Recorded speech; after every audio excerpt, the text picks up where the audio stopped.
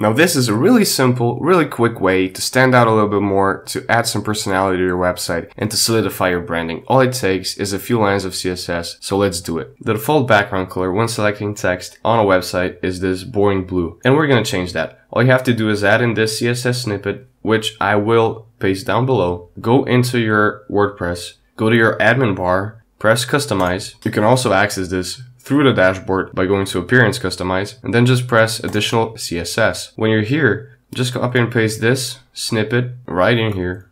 You're gonna notice immediately it changes the color. If you change the color value, it's gonna change the color of the text once it's selected. And if you change the background, it's gonna change, well, the background color, which is what I'm gonna do right now. You can really play around with this. Just have fun. you can test something similar out by going down below and hitting that subscribe button and it's gonna go from red to gray. And if you need a better reason to subscribe, we both know you're never gonna remember the name of this channel and I would love to see you again. So press that, hit the thumbs up and check out some of my other videos. Thanks for watching.